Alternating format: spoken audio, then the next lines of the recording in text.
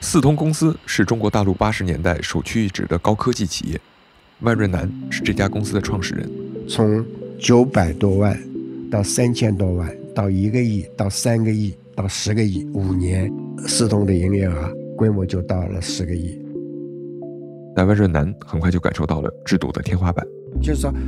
民营经济在中国发展，它需要一个政治环境。根本的问题是产权问题。那么要解决这个问题呢，不是我们企业能够，这是要通过政治改革来完成的事情。八九学运爆发了，万润南这个当时最成功的民营企业家该如何行动？我们介入这个运动，一个很大程度上是为了避免流血，因为我知道，如果一旦流血，运动被镇压。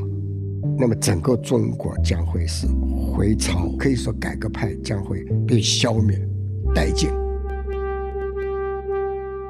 欢迎收听美国之音出品的播客节目《岳阳电话》，我是武阳。